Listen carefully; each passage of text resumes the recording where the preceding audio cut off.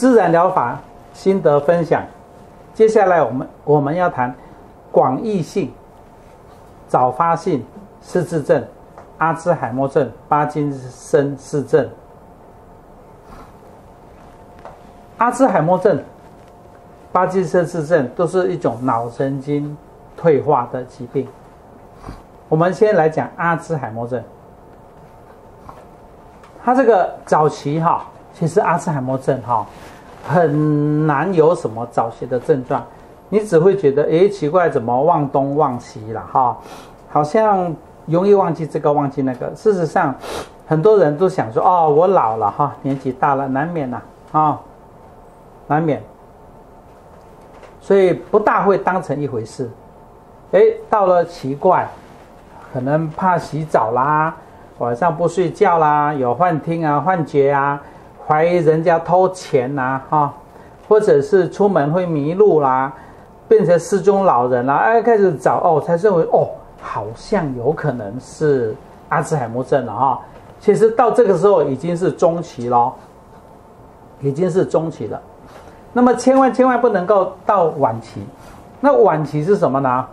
就是不会吞咽，躺在床上，不会行走，躺在床上，不会吞咽，会吃东西会像的放个鼻胃管啊，躺在床上不会洗澡，啊，不会大便，要人擦屁股，要人洗澡，啊，这样躺在床上在五年、十年啊、八年这样，啊，这个叫晚期。其实哈，有很多很多人哈，啊，都是这样。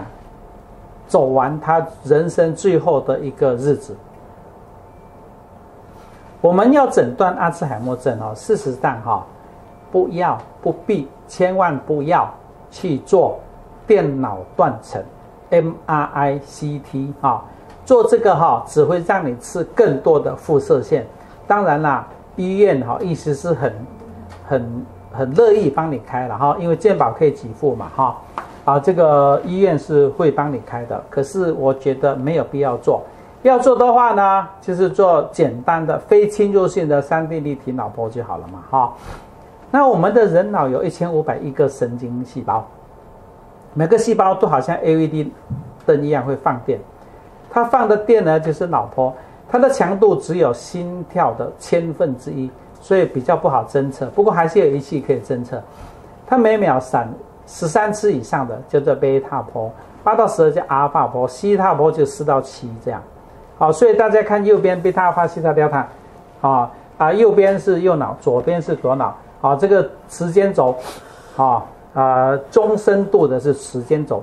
你看这个人哈，他被这个催眠以后呢，他的贝塔波就消失了嘛，哈。那么这个十三次以上的就消失了，所以。我们如果要考这个催眠师鉴定哈，就叫他带他的亲戚朋友来看有没有办法说真的脑波消失，这个是不能够作弊的哈，有消失没消失就是知道。所以贝塔、阿尔法、西塔、德尔塔，每个人就是说都可以测出这种脑波。这个十九岁的人啊，这个正常脑波是这样的啊。那么这个六十一岁的脑波是这样啊。他就是很严重了嘛，啊，很严重的，出门就会迷路，好，出门就会迷路，好，你问他刚才吃过没，他也忘记了，完全就是没有办法。做了吸的清没有效，做了高压氧也没效，啊，好，治疗也没效。这样都没有效。他问我要不要治疗啊？我说你看看呐，要治疗就治疗嘛，哈。呃，他问说治疗会不会好？我就跟他说你的好的定义是怎样？他说恢复到我年轻的时候。我说那不可能啊！我说你脑细胞已经死光了，电脑断层了什么，然后照的都是这样啊，死光了啊，死光了怎么会好？我说哈，可以维持现状，好，出门会迷路要用人带，好，这个 OK，可是你可以不要恶化，恶化是什么意思？我说躺在床上要人把屎把尿，要放鼻胃管，好，要人擦屁股，不自己不会洗澡，你现在还会洗澡，还会吃饭，然后以后都不会了。我说那再严重呢？我说恢复到婴儿的样子啊，人老了变变小变小孩嘛。他一直问，我因为我有一点难以招架，你知道？他说变小孩子又会怎样？我就跟他半开玩笑，我说哈，你会怎样？我不知道。我说我小孩子哈，五个月大的时候会抓大便吃了。老人会不会抓大便吃？会哦，对不对？东西给他吃不吃，他吃大便呢？这个不是不可能呢。啊，我都看过，你知道？所以说有时候我们人哈，到底要怎么治疗哈？真的不是开玩笑的。脑细胞哈，一个一个死啊。如果你被人掐住脖子，脑细胞全部一下死光，你人就死了嘛。可是你死得慢，感觉不到，一个一个死，好，类淀粉堆积，脑细胞也是会萎缩的嘛。萎缩萎缩到最后就变成这样啦，右边是萎缩的嘛，脑啊，左边是正常，啊，右边是萎缩，左边是正常，右边是萎缩，左边是正常，这样。好，不是每一个病人都这么悲观哦，这悲观我就不用看阿兹海默症了嘛，哈，好。这边有一个人哈，他才四十岁，感觉很不舒服，情绪很不好，很不好睡觉，好一直多梦，哦，每天闷得要死，然后是精神科的，因为一直想自杀，几乎哈我所有的症状都给他勾完了，这样知道吗？好，他老婆是这样，看起来嗯好像低了一点，好，可是也没有说低到怎样吧，哈，跟前面那个人比起来。结果我就让他去保健馆细心，变成这样呢？你们看，哎，变成这样哈，他是怎样充电？结果这个人哈一做完哈，呱呱呱呱呱呱一直讲话，找旁边的人讲，护士讲，护士没有时间，他就找对面的人讲，讲不停。他先生在旁边一看傻眼，他说：“他这一个小时讲的话，哈，比过去一个月还多呢。一直讲话，talkative，我们的 talkative，哎，这个很常见哦。这个人哈，他更好玩的就是说，那天他在保健馆，礼拜六嘛，礼拜天，啊，就到这个，好，我附近的一个地方演讲，哦，我有发烂给他，他也有，我们有发烂给他，他也来，我就把这个老婆说出来，他说：王医师，那个人就是我。”我我想惨了，这回怎么办？不知道好还是坏，我就问他说：“你那你昨晚回去怎么样？”他说：“我昨晚回去哈，精神很好。我到现在哈十点多离开你们保健馆，我都没有睡过觉，精神好的要死。”哦，所以吸氢要小心。有些人吸的心情太好，我曾经有一个吸的四天不会睡觉，你要小心。好。脑波分两种，一种降低，睡得死去活来，闹钟叫不醒，火灾吵不醒，是很强的。我说后来当时我怎么讲？我想说惨了，这回如果你你们都是医师吧，要怎么回答啊？吸了不会睡觉哎，那还得了啊？后来我想说哦好，恭喜你，你的脑细胞没死。就好像你的车子充电器还好，充得进电，你知道吗？哎，这个是事实啊，这个充得进嘛？哎，充得进电是 OK 的呢。我说你只要好好的吸氢，好好的吃油，你火火到一百二也会耳聪目明哦。好，标准答案，这样对不对？所以我们有时候要要要那个极致一点嘛，哈，不能脑筋太钝了。我们自己不能先老年痴呆啊。好，你看我已经。快七十了，你知道，我都不好意思讲。可是我跟很多年轻人在一起哦，很多年轻人怕我。他说你脑筋比我还快。我想我为什么会这么快？我以前也是很钝的。我曾经，我我最近一直吃肾通饮食嘛，啊，然后我以前血糖高，高到每天都迷迷糊糊这样，哈，然后做生酮饮食啊，这样。以前我走台大，我住在台大旁边嘛，哈，台大校园走一圈呢，一个小时要停。二十公尺要停一次呢，我现在走一整天都不会累，你知道？有一次我去菲律宾玩，他们说：“哦，老人家，你要不要我们扶？”我说：“不用，不，我走的比他们全部人都快。”好，因为我每天还走这个楼梯啊，十层、十二层楼走十次，一百二十个楼梯梯阶。好，然后。我最近脑筋是 upgrade upgrade，好像说以前好像有一点像这个宏基第几代啊，一直上升上升，现在好像 iPhone 不知道第几代了，我觉得我虽然快七十岁，我脑筋一直一直那个一直 upgrade 呢，你知道？哎，这个真的是这样，一直一直提升。好，这个跟生酮饮食很有关哦，跟大家分享一下。哎，我最近有一次，因为我本身是马来西亚人，啊，我小时候马来文会高中，后来我觉得我忘记了。那最近去年过年哈，我就忽然间嘣一声，好像那个以前学的东西又回到脑子里面去了，好像有 recall 你知道，好像会回忆呢。所以你们要好好保养你们的脑，好，就算你不想活那么久，不小心活久的话，也不要人家把屎把尿这样，这样知道吧？哈。所以说你们今天来这边听哈，不见得你能够治疗你的病人了哈，可起码要治疗你自己，不要拖累小朋友啊。好，像这边有一个人哈，七十三岁，恐慌、忧郁、失眠，糖尿病十六年，肾功能不良，快要洗肾了，多疑、易怒哈，当一个公司的董事长，可是没有结婚，妹妹带他来，哇，在门口拉扯啊，哈，就是不愿意进来，后来哈。说好说歹，怕怕给他吃一些油，泡给他吃哈，然后吃完油，那就是硬逼着吸去一个保健馆吸吸吸吸完哈，他就回去了，回去了哈。我想啊，这个人哈，大概就没有办法帮上忙了，因为他哈很养生的一个人，吃素，吃素没有错，我也吃过十年的素，我觉得吃素是好主意啊，哈好。可是哈，他吃错了，怎么错呢？他是怕油，低油、低盐、低糖，他的油不敢吃。你去买菜给他，他要先用开水泡一泡、烫一烫才吃的啦。就是没有油嘛，脑细胞欠油啊，啊。结果他第二天来，他说：“我我问他说，你今天来做什么？”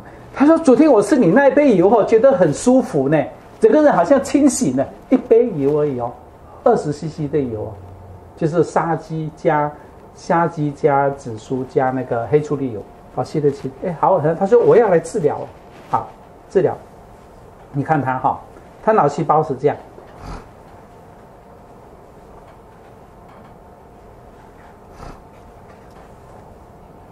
变这样，这个也是一个充电。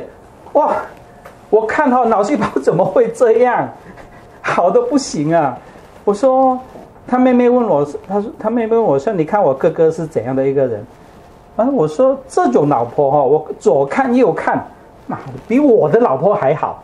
我说你这个人哦，不当总经理也当教授，就是当董事长吧。他说他哥哥就是一个上市公司的董事长，这样创业白手起家创业的，真的是被我讲中了哈。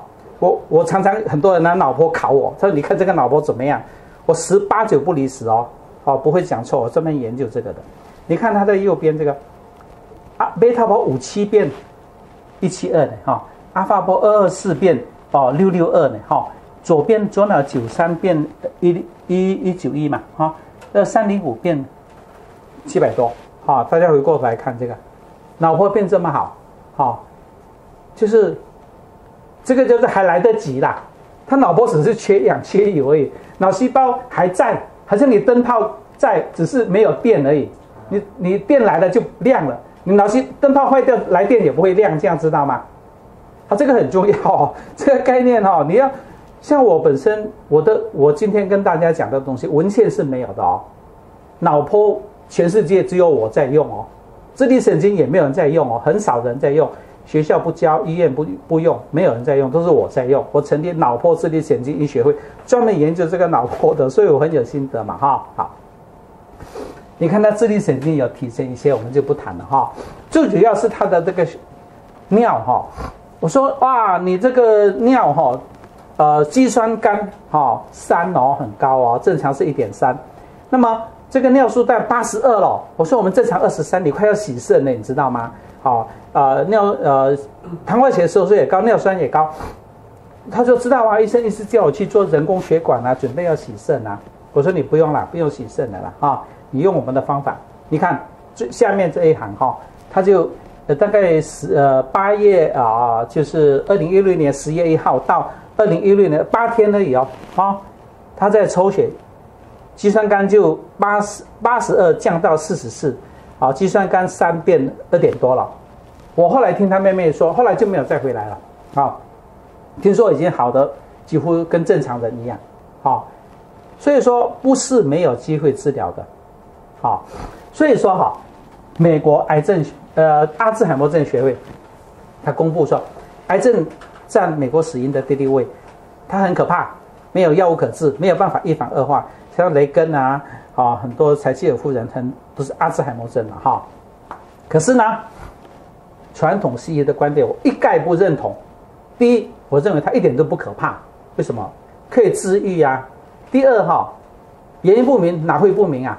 二氧化碳太高啊，油吃不够啊，酸太多啊，自由基太多啊，怎么会原因不明？乱讲，啊，没有药可治，当然是没有药可治啊。问题是不要用药就会好啊？为什么要用药？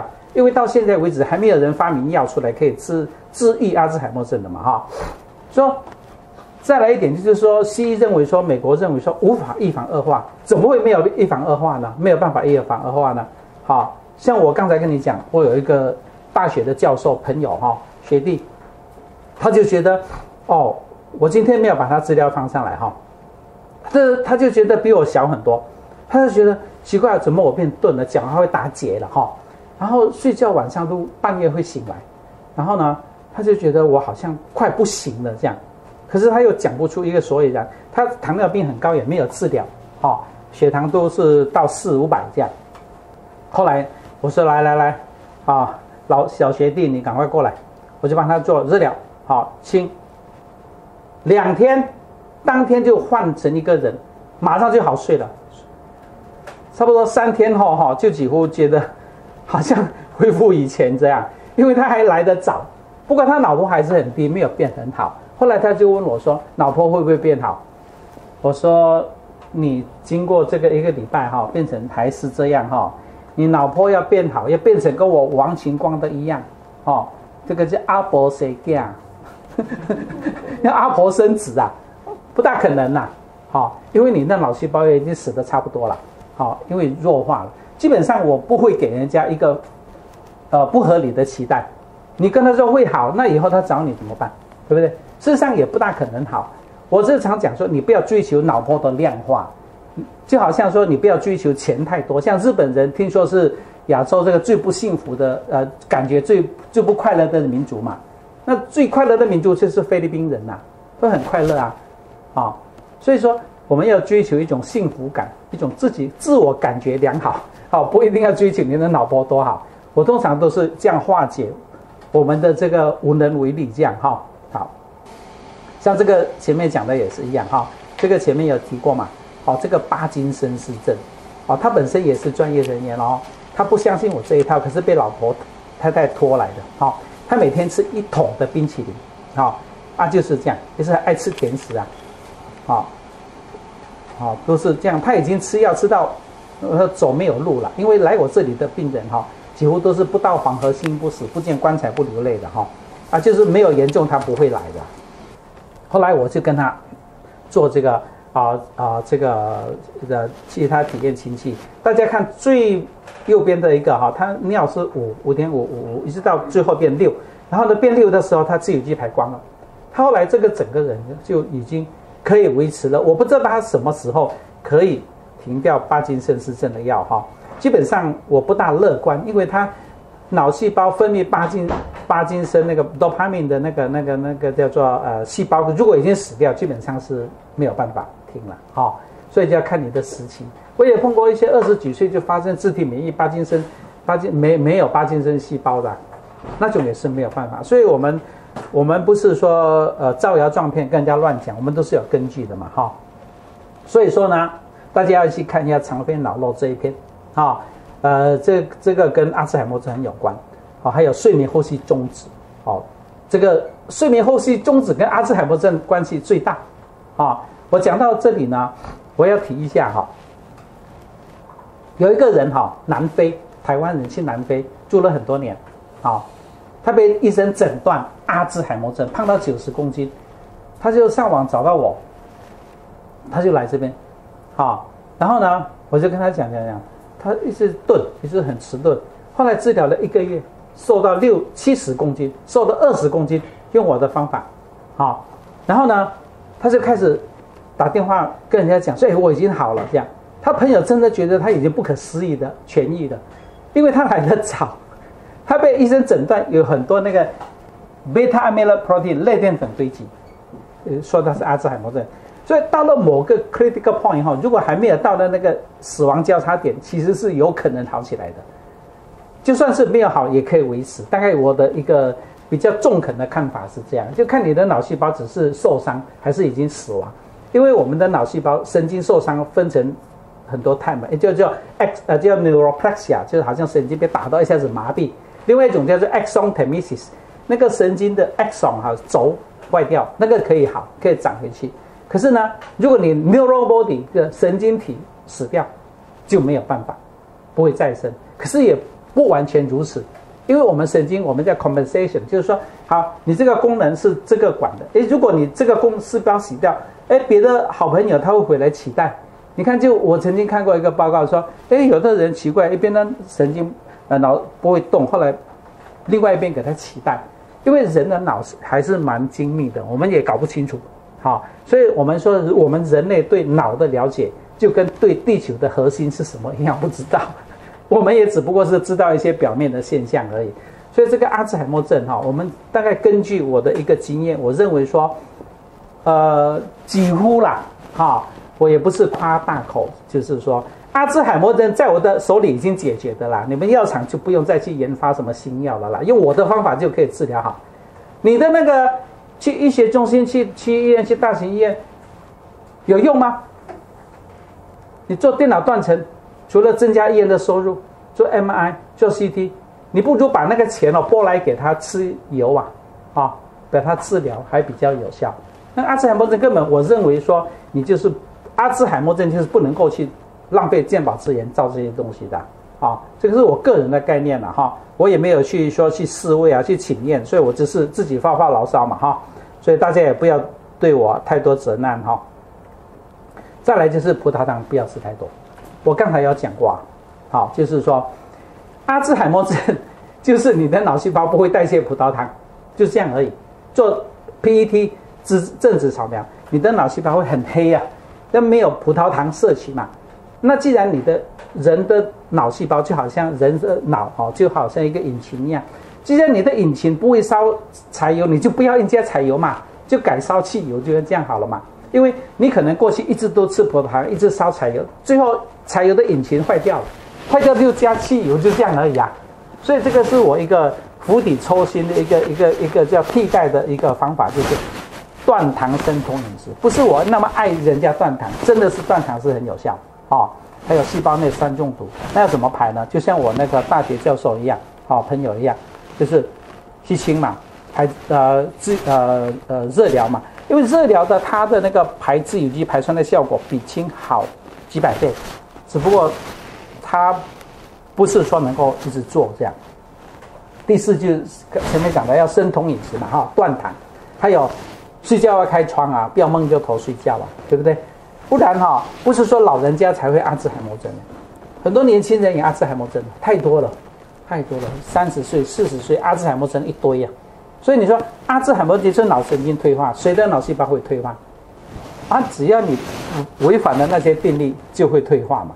好，还有氢分子医学也要看一下哈，才能够完整的你对阿兹海默症的一个了解。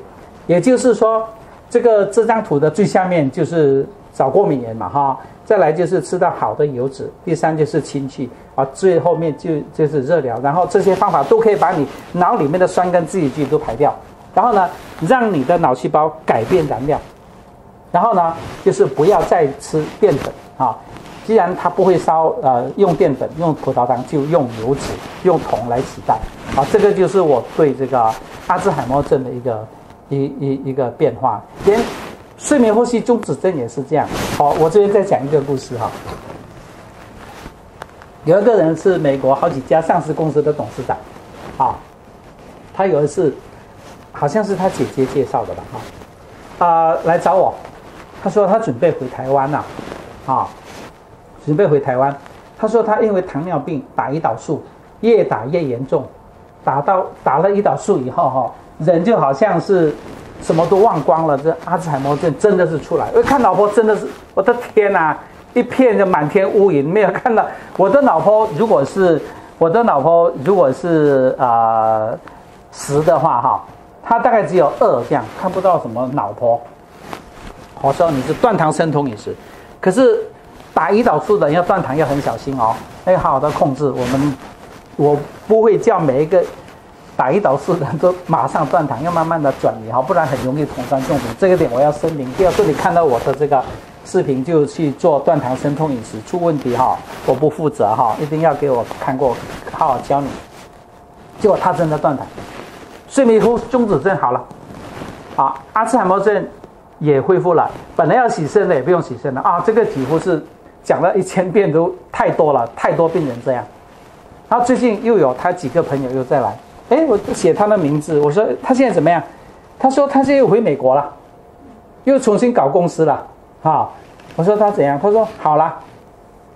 我想他叫他来，他也不来，因为我们的患者哦，就是好了，他很少会来的。医诊所不是一个好地方嘛，好，医生能够不看到总是比较好，这样我可以理解的。好，嗯，很多人都说王医师，你不要再跟人家说我有来你这里看过，这样 你最好假装不认识我。好，好，再来呢，就是说这边讲到这里哈，大家再看下一集，自律神经失调。